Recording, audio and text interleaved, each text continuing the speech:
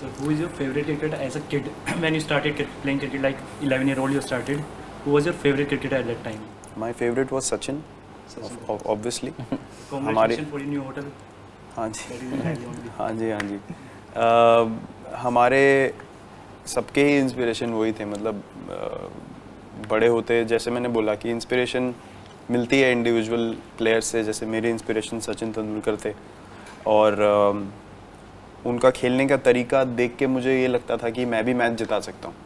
मतलब मुझे सिर्फ़ ये नहीं था कि बैटिंग बहुत अट्रैक्टिव बैटिंग करते थे हाँ लेकिन वो मैच जिताते थे तो मुझे हमेशा से उस चीज़ से कनेक्ट ज़्यादा होता था। तो मेरे हमेशा इंस्पिरेशन वही रहे। Download the M P L app from M P L dot mpl.live.